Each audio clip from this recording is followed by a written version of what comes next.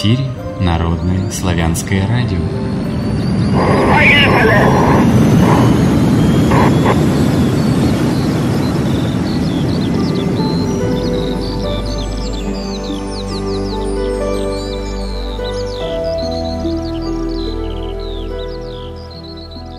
Всем здравия!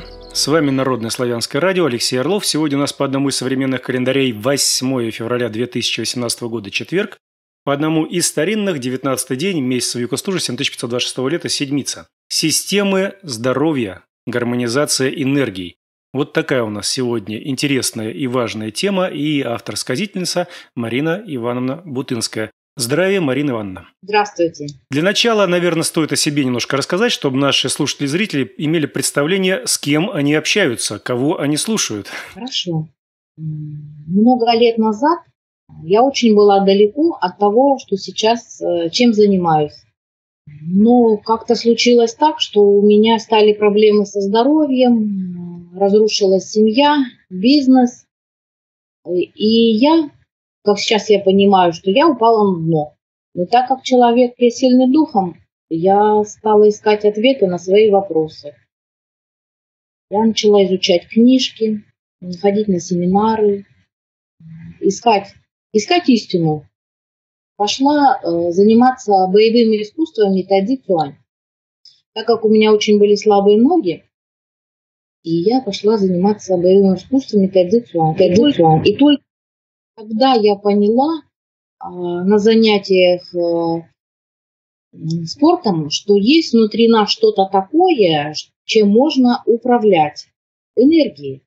И с тех пор э, я изучаю это уже на, на протяжении 15 лет. Помогла себе, помогла многим своим друзьям, помогла восстановить свою жизнь, восстановить свое здоровье.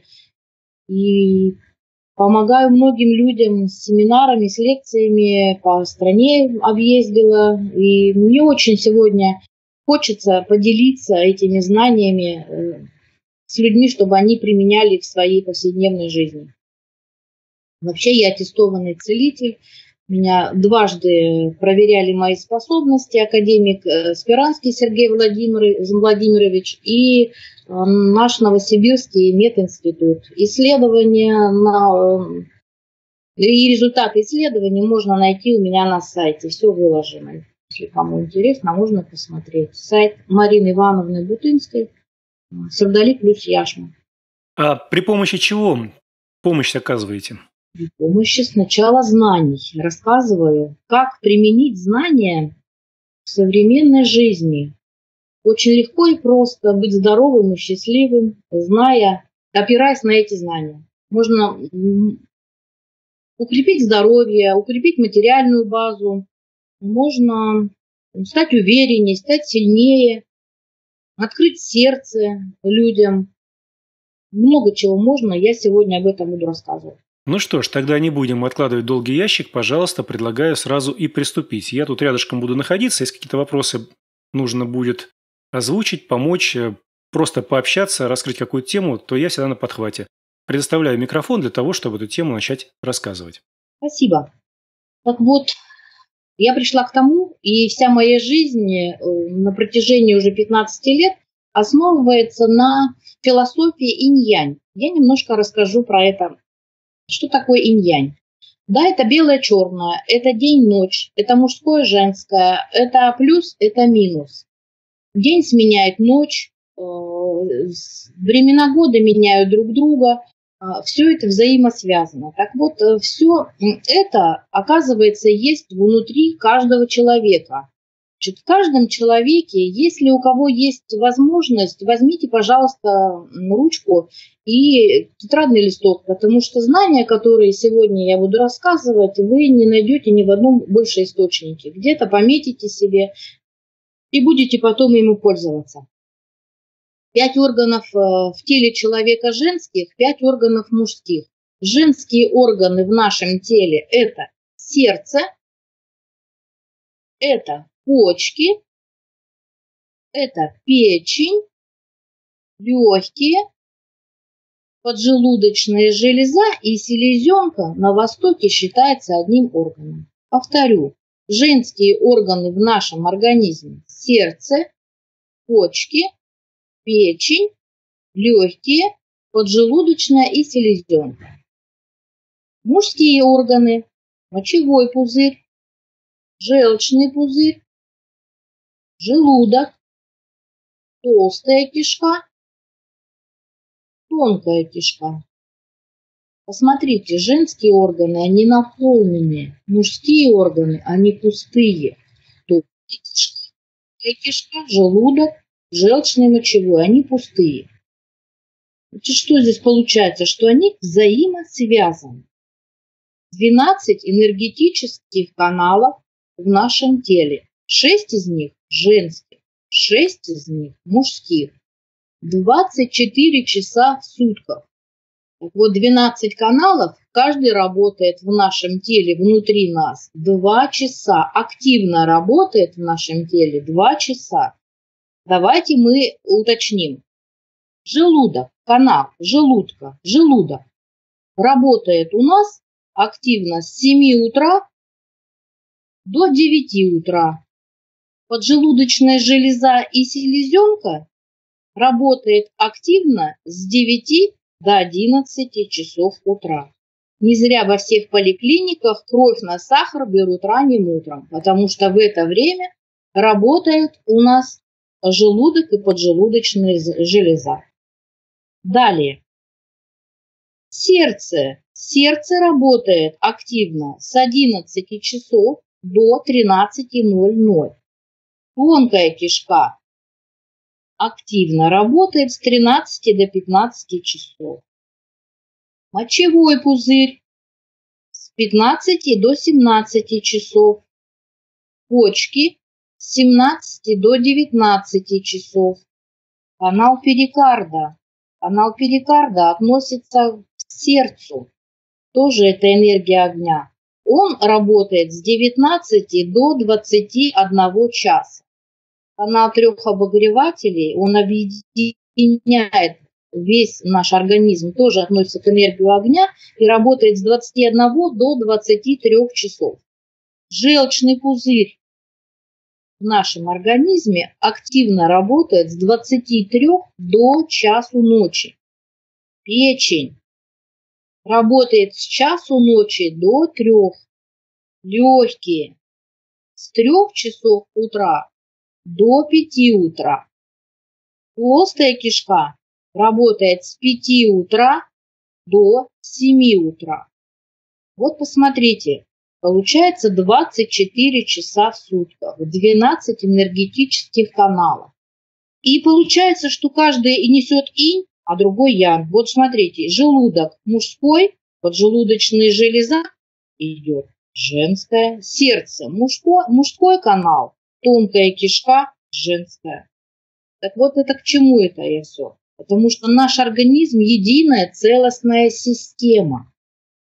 Половина у нас внутри нас мужского, половина женского. И если равновесие мужского-женского начала внутри нас нарушается, Отсюда идут заболевания, потому что эти каналы, например, э, если у человека внутри него преобладает мужское начало, человек, мужское начало – это активность, это оптимизм, хорошее настроение, это духовность. Если внутри человека преобладают эти энергии, значит, эти органы, мужские все органы, это желудок, ну что ж, мы перечислили мочевой пузырь, тон, э, толстая кишка, тонкая кишка, все мужские каналы перетягивают на себя энергию и работают на износ. Женские э, каналы недополучают энергию и тоже страдают. Получается и там э, нехорошо, и там плохо. Я за равновесие мужского и женского начала. Когда в вашем организме будет это соблюдаться, вы будете здоровы. Вопрос, значит, как его соблюсти? Что нужно делать? Ну, во-первых, э, с помощью питания, если мы успеем сегодня, мы это разберем, питание, потому что многие люди употребляют э, внутрь себя в основном очень много а, иня женского. Это салаты, это каши, это сладкое, это все относится к женским энергиям, но забывая про мужское, а муж, мужские, э, мужское питание – это больше добавлять в свой рацион имбирь, чеснок, лук, аджику, горчицу, баранину, все, чтобы нас вот будоражило. Мы от этого отказались, поэтому мы больше активируем внутри себя женское начало. Поэтому организм тоже об этом, здесь будет страдать.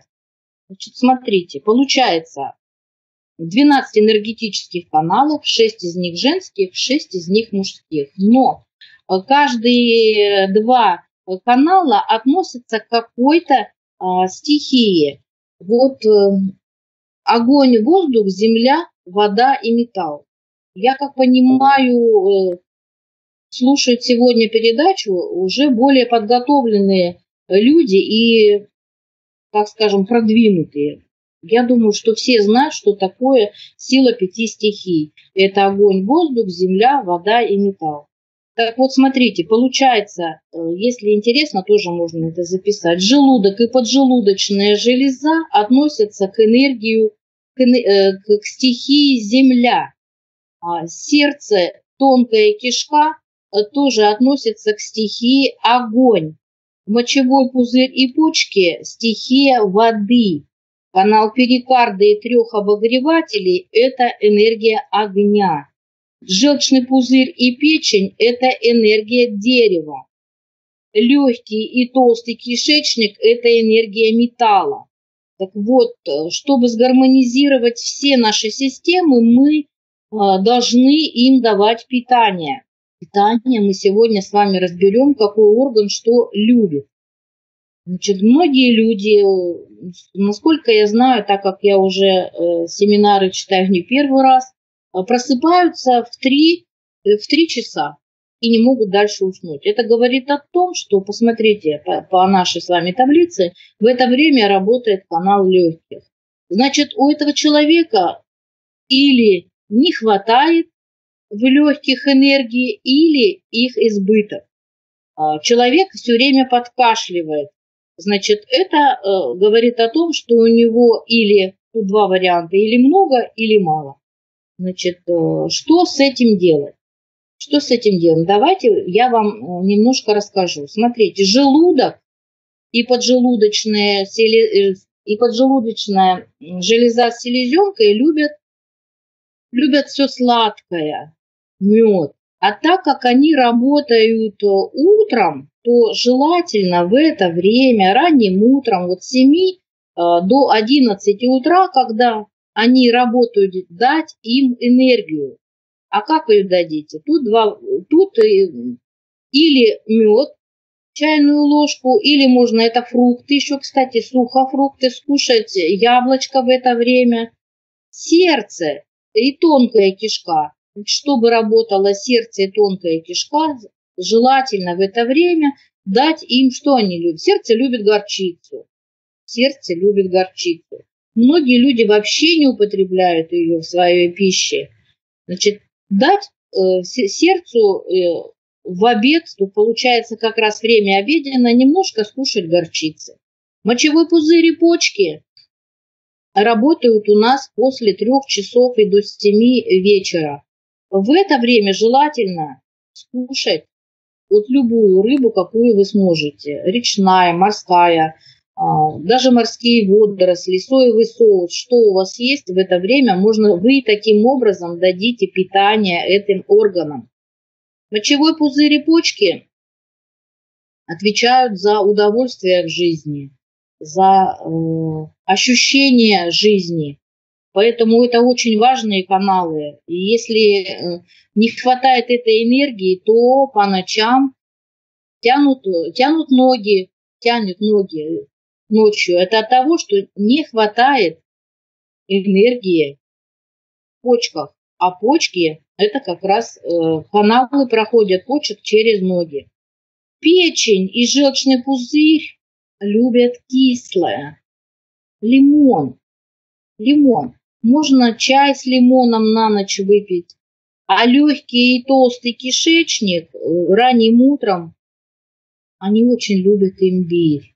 Имбирь молотый, можно покупать молотый в магазине, и прям со спичечную головочку чуть-чуть, чтобы не, не было лишним. Съедать можно прям на язык и запить чай. Можно покупать чай с имбирем, можно имбирь для суши продают красный, вот маринованный. Вот какой вот хотите, вот что вам угодно вашей душе, то и э, употребляйте. Так вот, когда вы будете давать питание своим э, органам, то ваши органы будут в порядке и здоровы. Просто мы а, не знаем об этом, и поэтому мы много болеем. Так вот, как гармонизировать? Получается вопрос, как гармонизировать пять стихий, эти пять стихий, как э, э, гармонизировать эти стихии. Смотрите, сейчас у нас идет зима. Зима – это, это энергия воды. А, значит, далее будет весна. Мы также подчиняемся законам природы, и весь наш организм будет э, больше в это время работает э, печень и желчный пузырь. Значит, и потом далее, значит, получается лето.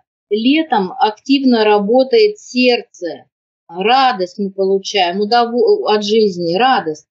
Значит, далее работает это конец лета, это желудок, э, это энергия а, земли. После осени это металл. Э, здесь работает, то активно работают и лечится толстый кишечник и легкие. Так вот, мы полностью подчинены законам э, и временам года, и природе. Поэтому, поэтому мы должны применять ту пищу, которая которая в данное время года нужна нам. Зимой нам нужна рыба, весной нам нужна кислая, даже квашеная капуста, летом побольше, побольше фруктов, но лучше красных. Значит, конец лета это получается мед, а осенью мы кушаем э, больше всего для того, чтобы у нас вылечились легкие и толстый кишечник, мы кушаем имбирь, молочные продукты, хлебобулочные изделия, это все э, толстый кишечник и легкие. Алексей? Да, я здесь, я слушаю внимательно. Может быть, какие-то вопросы? Ну, вопросы мы во второй части позадаем. Сейчас э, идет время доклада, поэтому я вот не прерываю нисколько, я слушаю и наблюдаю за тем, что происходит в чатах. А в чатах идет обсуждение потихонечку, так что вот вопросы сейчас я в наш общий чат буду сбрасывать. И потом мы уже, отталкиваясь от вопросов и реплик, будем вторую часть делать.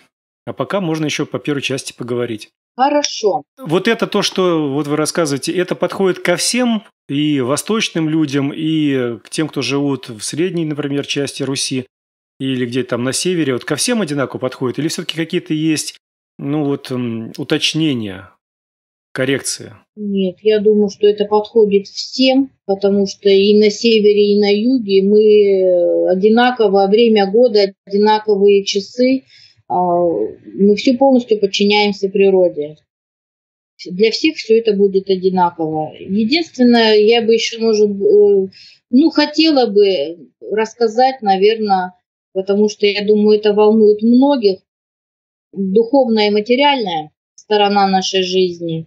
Я не расскажу про это тоже, потому что, знаете, я не могу быть равнодушным человеком и э, мимо и просто пос последнее время все больше убеждаю, что люди стали абсолютно равнодушны в, не знаю, в беде, горю другого человека. И меня это очень трогает, и мне как-то хочется помочь всем.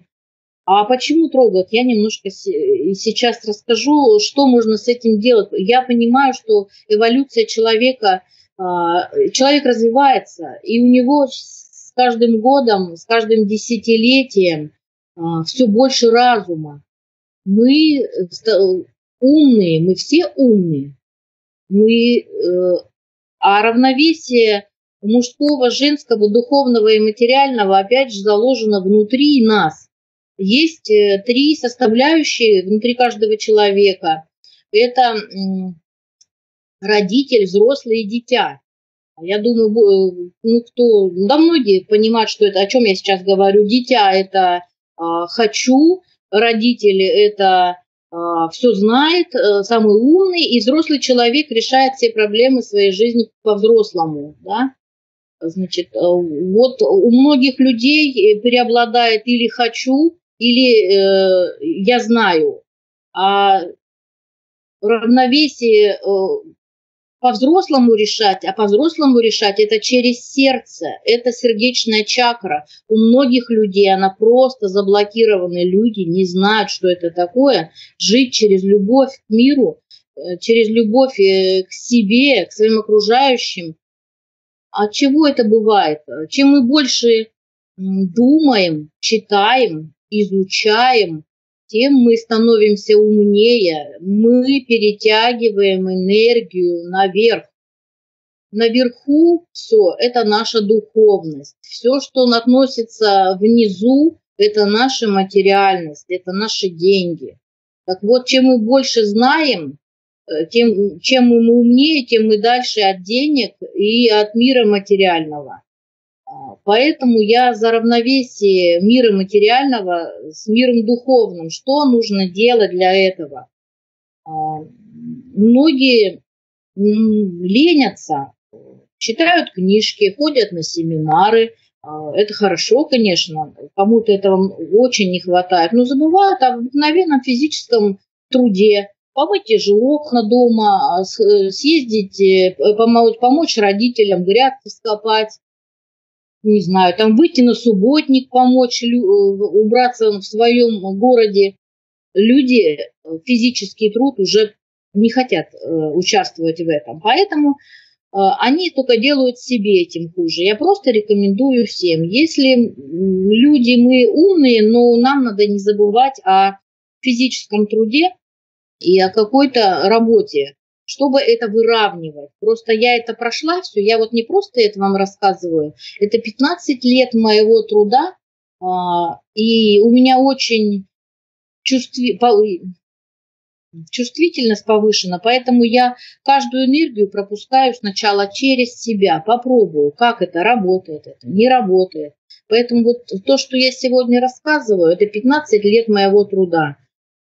Поэтому я думаю, что все это ценно. И если кто э, услышит, прислушается и, и попробует применить свою жизнь, то это будет очень хорошо. Значит, чакры. У нас в теле человека есть э, семь основных чакр. Я их тоже немножко сейчас коснусь, чтобы вы понимали, о чем я говорю. Первая чакра это э, у нас, начну снизу наверх. Эволюция человека вообще идет снизу вверх. Нижняя чакра – это основание ног у нас позвоночника. Отвечает она у нас за ножки, за наши, за материальность, э, за уверенность в себе, за опору, за работу. А, значит, вторая чакра у нас на два пальца ниже пупа.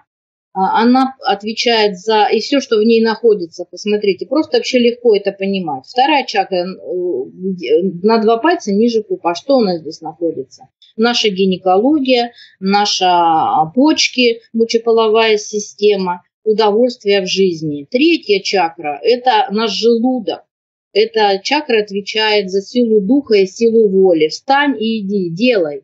Да, у многих людей а, есть э, легко отследить э, увеличен живот, надутый как шарик, э, тут говорит о том, что человек любит командовать, у него этой энергии много. Или второй вариант.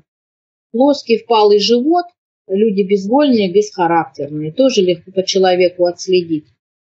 Четвертая чакра – это у нас в районе сердца, значит, она отвечает за любовь к себе и любовь к миру. А пятая чакра – это горловая. Она э, отвечает за общение, за принятие мира таким, какой он есть, за реализацию себя в социуме. Пятая чакра, шестая чакра – это у нас э, третий глаз. А многие э, сталкивалась я с людьми, которые искусственно его открывают. Я бы никому этого никогда не советовала, потому что а, ну, место может быть в психиатрической больнице гарантировано. Потому что люди неподготовленные платят огромные деньги за открытие этой чакры. То, что закрыто Богом, открывать, я думаю, не стоит. Потому что тогда человек начинает видеть то, что не нужно видеть нормальным людям. Значит, э, и седьмая чакра – это наша духовность, это связь э, с космосом, с Богом, с духовностью с, наш, с нашей. Это седьмая чакра. Так вот, посмотрите, три верхних чакры, получается, седьмая, шестая и пятая. Это э, наша духовность. Э, нижние чакры снизу, начиная первая, вторая и третья, это отвечает за мир материальный. Так вот, три верхние, это получается мужские, три нижние – это женские чакры. Так а вот седьмая, э, то по счету она четвертая в районе сердца, это чакра сердечная. Она вот именно объединяет и соединяет мир духовный с миром материальным. Вот если у вас вот в этой чакре блок, чакра закрыта, э, вы знаете, вот, э, во-первых, это будут сердечно-сосудистые заболевания. Во-вторых, система вашего организма замкнута. Вы, у вас много ума, а, у вас много духовности, но у вас нет денег, у вас нет удовольствия от жизни, вы не понимаете, не, я, я не зря это рассказываю, потому что я через это сама все прошла. Не ощущая жизнь, человек не ощущает, не получает удовольствия от жизни. А вообще, оказывается, просто открыть сердечную чакру тогда начинается энергия плавно перетекать снизу наверх и э, сверху вниз. Это восьмерка, вот это знак бесконечности, это как раз проходит через нашу сердечную чакру. А что, как ее открыть? Э, конечно, вопрос интересный. Но у меня есть очень хорошее дыхательное упражнение, на моем сайте Марина Ивановна Бутынская, наберете в любом поисковике, на моем сайте оно есть там в видео, где я читаю семинары, там есть это упражнение. А, как, э, как эту чакру открыть? Э, ну, дыхательной техникой. А, или тогда можно просто, если не найдете ее, почаще говорить «я люблю». Я люблю этот мир, я люблю себя, я люблю э, соседей, я люблю друзей, я люблю своих родных, детей. Люблю. Вот когда вы будете э, употреблять это слово «люблю», сердечная чакра начинает открываться. Как часто мы говорим друг другу «люблю»? Я думаю, очень, крайне редко. А попробуйте начать с малого. Люблю этот мир, люблю соседей, э, люблю работу, люблю свой город, люблю день, люблю ночь все люблю, вот тогда чакра начинает работать. Тогда жизнь человека полностью меняется. Вы начинаете получать удовольствие от жизни, вам все нравится, что бы ни было плохо или хорошо, вам просто хорошо, потому что вы в ладу с самим собой. Так вот, еще просто проще есть гораздо. Так как я стрелец, и мне хочется помочь многим, и то, что я прошла такой длинный путь, и собирала эти знания по крупицам, я думала, как помочь многим, потому что одному-двоим мне неинтересно.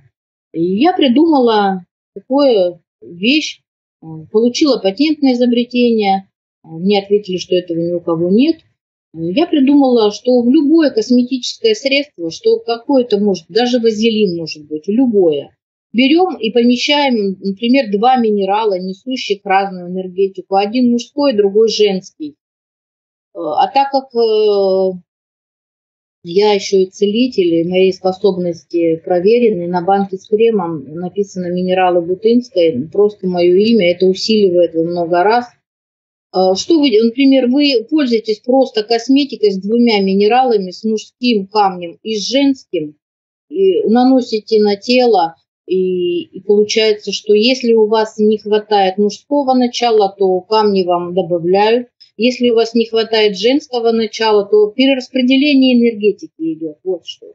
Но э, если вам это все интересно, вы можете на моем сайте посмотреть и почитать.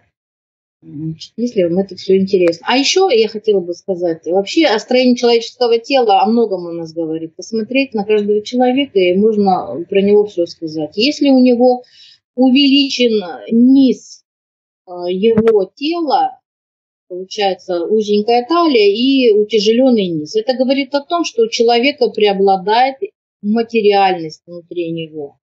Есть второй тип людей, у которых увеличена верхняя часть туловища. Это говорит о том, что внутри него преобладает духовность. Мужские энергии преобладают внутри него. Э, так вот, это можно все гармонизировать. После применения моего крема все это структура, даже фигура человека меняется, перераспределяется энергетика низа и верха. Так вот у людей с духовным началом, да, это оптимисты, да, это движут миром, да, это духовные люди, но им не хватает материальных благ. Или наоборот, э, люди, у которых преобладает женское начало внутри, у них нет оптимизма, у них веры в будущее, в завтрашний день, они э, вечные в какой-то депрессии. Поэтому я уже сколько людям помогла с депрессией, я знаю, что такое депрессия, когда у человека внутри него не хватает мужских энергий. Во-первых, это можно с помощью питания изменить, каждый день добавлять внутри себя мужские продукты, несущие мужские энергии. Это аджика, это чеснок, это горчица, это имбирь, это хренадеры, это чеснок, это все вот острое, зажигающее, это все мужское.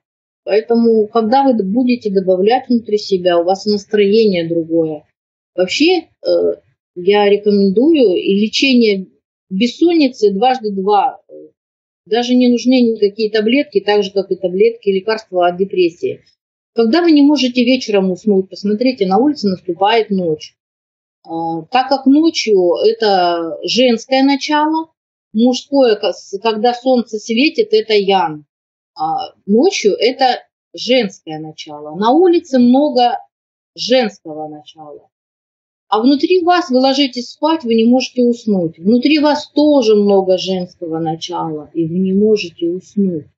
Я рекомендую просто, подходите к холодильнику, берете э, пол чайной ложки аджики, любой, какая вам нравится, магазинная, с рынка, грузинская, там, аджикская какая-то, таджикская, я не знаю, какая вам нравится. Пол чайной ложки аджики запили просто водой, легли, засыпайте через 15 минут. Потому что вы внутрь себя добавили мужское начало, мужские энергии, вы сразу засыпаете. И есть второй вариант борьбы с бессонницей. Опять же, ночнушечка, когда вы пижа... ночнушечку одеваете, как платьице, это женское начало. А если вы ее смените на пижамку, то вы гораздо быстрее уснете. Значит, это же, опять же, э, из той серии мужское и женское начало. Когда женщина носит э, платье, то это она усиливает в себе женское начало. Если женщина одевает часто и э, брюки, костюмы мужские, джинсы, то она усиливает внутри себя мужское начало. Женщины с мужским началом очень легко находят общий язык с мужчинами. А, они у них друзья, они как друзья. А вот женщины с жен, преобладанием женского начала внутри себя, им в жизни а, с мужчинами бывает посложнее, так как внутри них преобладает и скромность, и застенчивость, а, поэтому им немножко сложнее. Вот это все можно тоже регулировать. Где-то э, одеть платье, поносить, а где-то, если вы чувствуете, что внутри вас э, не хватает э, сил отстоять себя, сил сказать людям нет, то нужны поносить где-то брючки и побольше внутри себя мужских продуктов покушать. Что еще? Про сердечную чакру. Значит, еще вернемся к этому, потому что мне бы очень хотелось, чтобы был мир на нашей планете. И чтобы люди все любили друг друга и любили этот мир. Сердечная чакра вот за это, за все отвечает. Что можно сделать? Или, еще раз повторюсь, дыхательное упражнение или слово «люблю», э, чтобы вы перетягивали энергию на эту чакру, или э, просто сосредоточившись где-то в тишине, опускаете сознание в сердечную чакру и наблюдаете за своими легкими, за своим сердцем почаще. Тем самым вы перетягиваете энергию от своего разума а, в сердечную чакру, ее активируете. Знаете, а, у многих э, это мало того сердечно-сосудистые заболевания, это еще мастопатия у женщин, когда сердечная чакра закрыта. А, поэтому вот наведете порядок даже в той же сердечной чакре, чтобы энергия перераспределилась снизу и верха. У вас э, намного организма здоровится, и жизнь ваша поменяется в лучшую сторону. Алексей, что вам еще можно рассказать? Ой, да мне можно много чего рассказать. Я такой благодарный слушатель. Я воспринимаю все очень хорошо. Спасибо. Ну, говорить-то я могу много, но вот что интересует еще. Ну, вот можно поговорить вот как раз про косметику, потому что много женщин слушают, и большинство женщин, наверное, хотят выглядеть э, хорошо и красиво. Наверное, так. Я, я как мужчина предполагаю это. вот. А раз так, то, наверное, про косметику. Сейчас что только не пробуют женщины, чтобы красиво выглядеть и чтобы как-то так оттянуть э, вот то время, которое называется по-современному старость, хотя, наверное, дрях, дряхлость называется, не старость. Старость – это что-то другое, более значимое. Вот, э, поэтому я предлагаю чуть-чуть коснуться этого момента. Что там про косметику? Ну, вы знаете, у меня косметика более лечебная. Она вот перераспределяет энергию чакр, систем, органов, а, мужского, женского начала, духовного и материального. Конечно, моей косметикой, хотя это крем для тела, женщины наносят его на лицо. Идет подтяжка, омоложение. Это, конечно, заметно из первого применения даже. Но моя косметика лечебная, она больше для тела, потому что пользоваться, наносить надо на тело.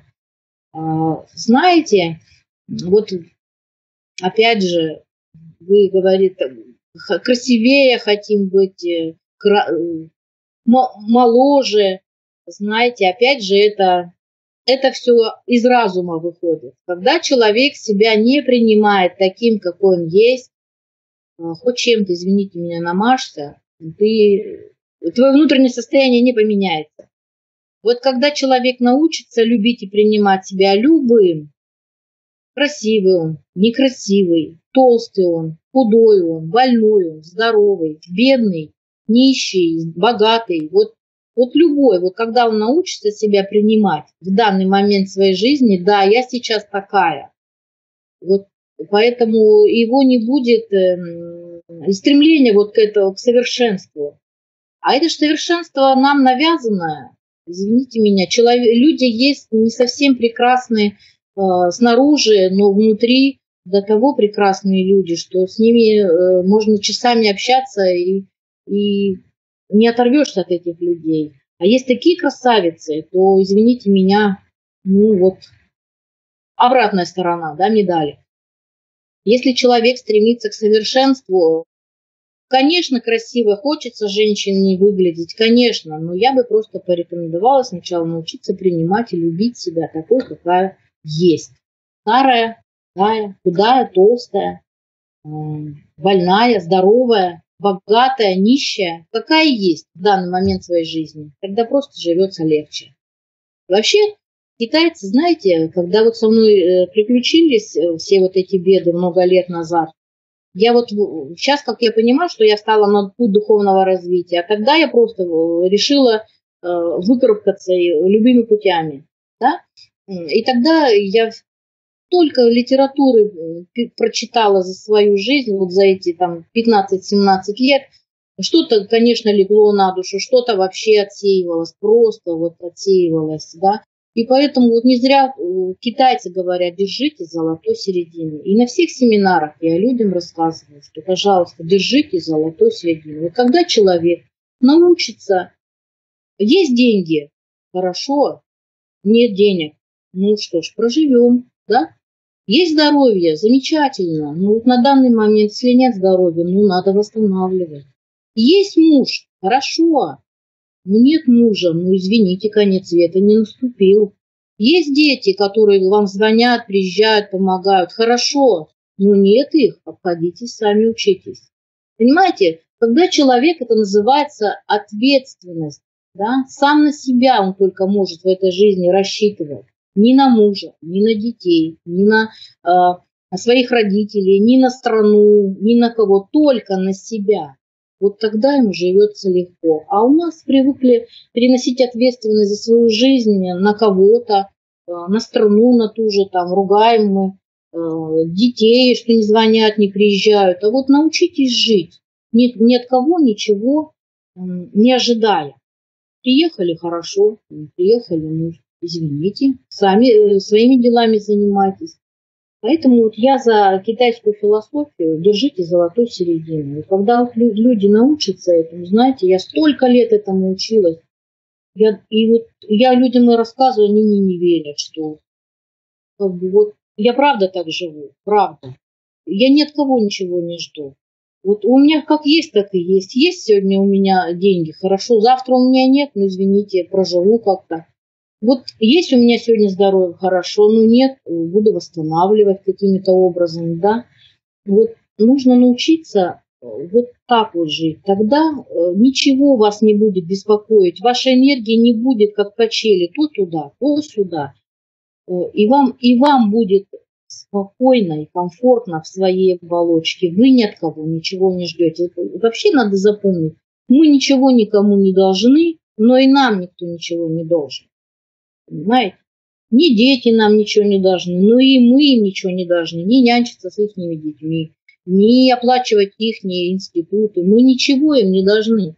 Не хочу хвастать, но мои дети в 15 лет, с 15 лет сами получают себе образование, оплачивают свое, и сами живут и сами покупают квартиры, и машины, и все остальное. Все сами, понимаете? Когда мы, э, я просто вот поражаюсь э, по 30, по 35 э, лет детям, сыновьям, а родители их еще содержат. Для меня это вообще неприемлемо. Понимаете? Чем вы больше своим детям помогаете, тем они становятся больше паразитами. А чем человека раньше вытолкнешь в этот мир, окунется, тем он сильнее станет. Победил себя, сильнее стал, победил себя, сильнее стал. Я родилась, я так боялась, меня столько было фобий, замкнутого пространства, высоты, глубины. И когда со мной вот это все приключилось, я залазила на 16-этажки, я, меня выкидывали посредине речки, я решила для себя, что если я выплыву, хорошо, ну не выплыву, значит мне так судьба. Да, вот э, я села за руль, когда страшно боялась, я преодолевала себя, я ломала себя. Я вставала на колени около метро протянутой рукой, да, попробуйте, хоть попробуйте себя сломать. Мы же все гордые, как это так, да, протянутой рукой. Многие люди даже боятся обняться. Вот я сколько наблюдаю людей после своих семинаров, от, в объятия к другому подойти к чужому человеку или дать руку потрогать, поздороваться, попрощаться, даже руки не протягивают. Понимаете, люди закрытые. Это очень плохо. Нужно открываться. Начинать даже с тех же, тех же обниманий, э, прикасаний к одежде, к другому человеку, погладить, похвалить, да, пробовать людей открываться. Люди все закрытые. Поэтому я вот Хочу, чтобы люди научились вот жить вот так вот. Не ждать ни от кого ничего. Надеяться только на себя. Только на себя. Помогли хорошо, но ведь не помогли, извините. Нам никто ничего не должен в этой жизни. Просто люди все забывают, что они пришли на планету Земля, сами выбрали себе программу, которую они будут отрабатывать. Они выбрали себе сами, родители, в семье которых они родятся. Они сами там себе выбрали страну, которой они будут жить. Они сами себе выбрали и детей, и мужей. И вот то, что с ними сейчас происходит, это ихняя программа, и они пришли для того, чтобы ее отработать. Вот когда об этом мы помним, да, со мной что-то происходит, да, например, там я не могу отработать там, ну, не знаю, нетерпимость, да, вот не люблю никого, не хочу ничего, или лень какую-то, да. И люди также продолжают лениться. Вообще можно к любому астрологу, к любому нумерологу пойти, он тебе расскажет все твои задачи, для чего ты вообще сюда пришел. Просто так ничего не бывает. И вот а мы-то об этом не помним, что мы сами все это себе выбрали, и программу, и, и людей, и страну, и мужей.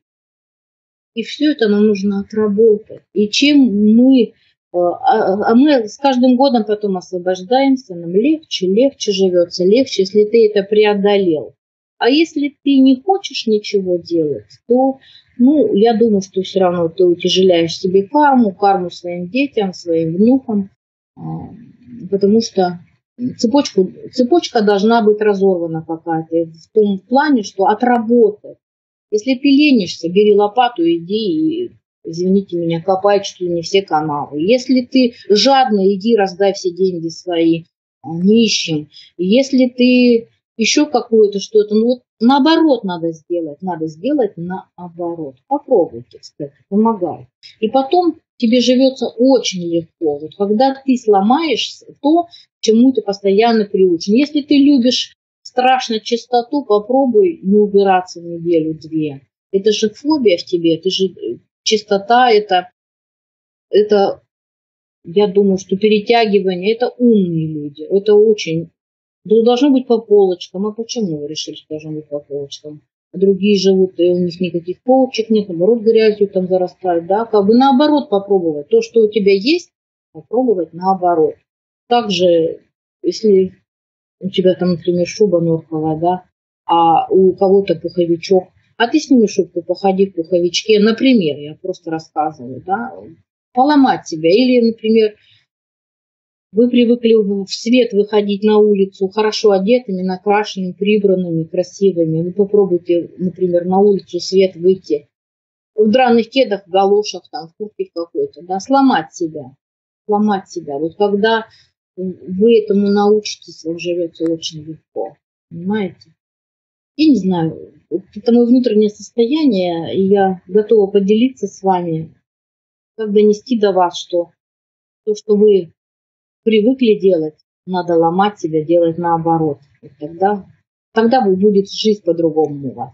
Понятно. Ну, такая бразильская система. Сделай наоборот, если вдруг это тяготит, избавься от этого.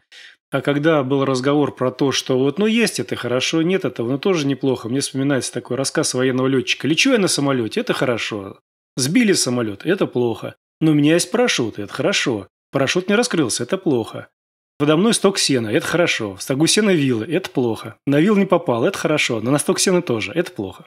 Я предлагаю сейчас нам сделать небольшой перерыв, буквально несколько секунд, для того, чтобы перейти ко второй части, ответы на вопросы и реплики, которые поступают в чате Народно-Славянского радио, slavradio.org.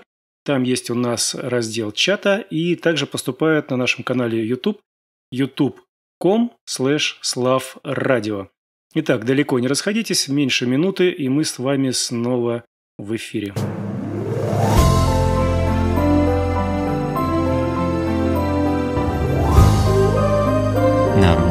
Славянское радио для пытливых умов.